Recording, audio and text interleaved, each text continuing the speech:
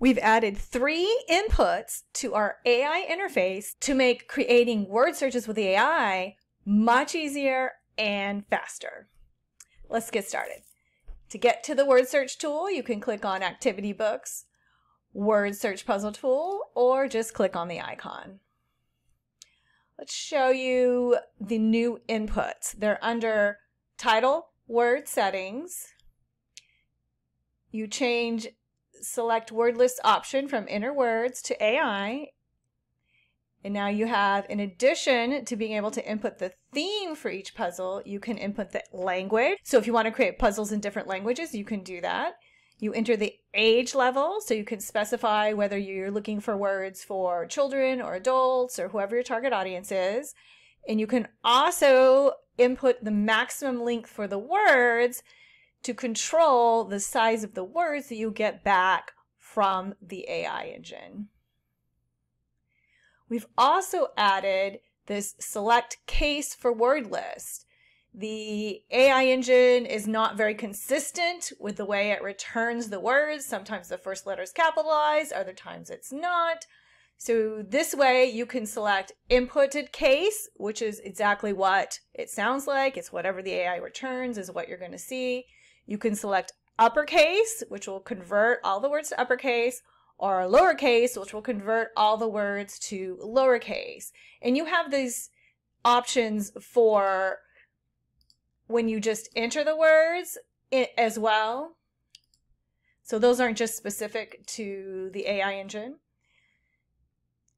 And we've also added puzzle starting number. So if you're trying to create a book with different types of puzzles, say five crosswords, five word searches, five mazes, etc., you can change the puzzle starting number so you can sequentially number all the puzzles in your book.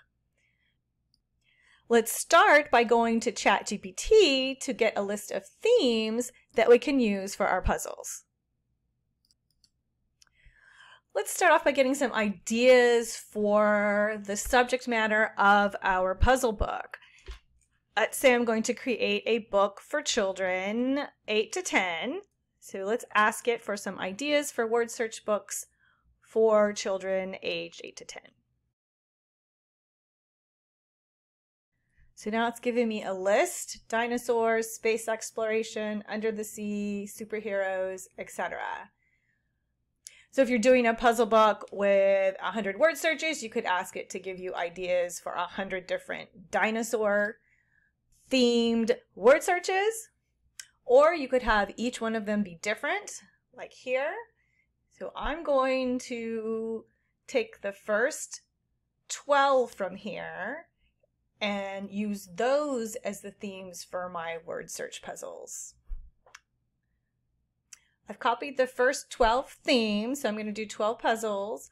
I'm going to leave it in English. I'm going to change this to children aged 8 to 10. And I'm going to leave the maximum length at 15. I'm going to go to the puzzle setting page and set it up for 12 puzzles. I'm going to start numbering on number one.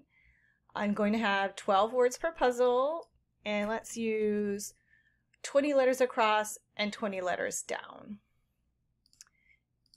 And let's go set my book to be an 8.5 by 11 with four answers per page. Now I can click on the refresh preview. And here's the word search.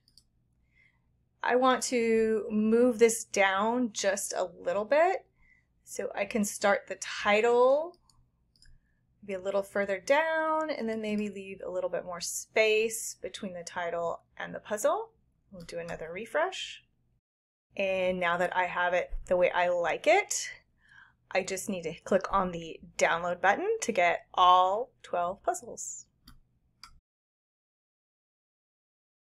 And here's what my PDF looks like. We've got word search one, word search two, three, four, five, six, seven, eight, nine, 10, 11, 12, and then we have all of our answer pages. So as you can see, this is a quick and easy way to create your word search books. You can just have ChatGPT give you a list of themes, you put it into this tool, and quickly you can create your entire word search book. If you have any questions about how to use this new feature, put that in the comments below. Don't forget to like and subscribe, and I'll see you in the next video.